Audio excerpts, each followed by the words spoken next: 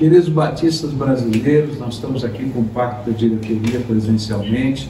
A irmã Deise está aqui online. Até agora há pouco, o pastor Heber também estava conosco. É, e temos uma grata satisfação de dizer aos irmãos que é, o pastor Fernando Mandão aceitou o convite do conselho para se tornar o novo diretor executivo da CBB e acaba de assinar o termo de posse.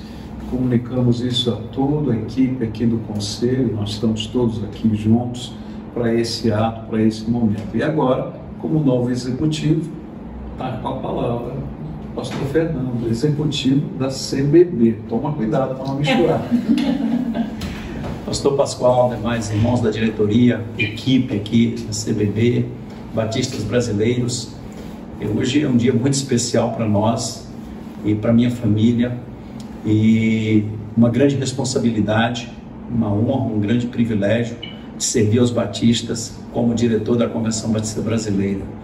Eu louvo e agradeço a Deus pelos 17 anos e três meses que ficamos como diretor de missões nacionais, ainda estaremos mais um pouquinho em missões nacionais, nesse processo de transição aí, até a eleição do próximo diretor de missões nacionais, mas desde já nossa gratidão toda a nossa equipe missões nacionais, nossa equipe missionária, estaremos juntos, vamos estar sempre juntos aqui na CBB, porque nós todos somos Convenção Batista Brasileira, as juntas missionárias, os seminários, convenções estaduais, organizações missionárias, todas as organizações batistas, nós somos a Convenção Batista Brasileira.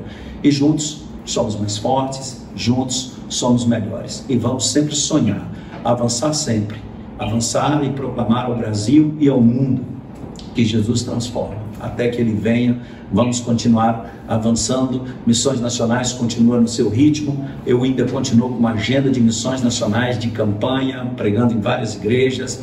Vamos ter uma grande campanha, estamos tendo uma grande campanha. Em março vem a campanha de missões mundiais que lançaremos na Assembleia ah, na segunda-feira, naquela Semana Batista, culto de lançamento da campanha de missões mundiais, será uma grande campanha também.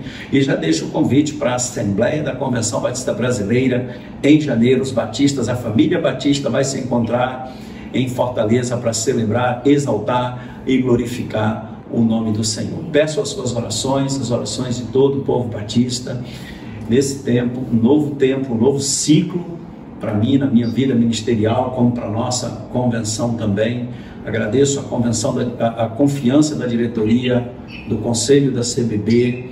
Estamos juntos, vamos caminhar, avançar, porque o nosso Brasil e o mundo precisam de Cristo Jesus. Que Deus nos abençoe e fortaleça. Amém. Amém. Deus abençoe.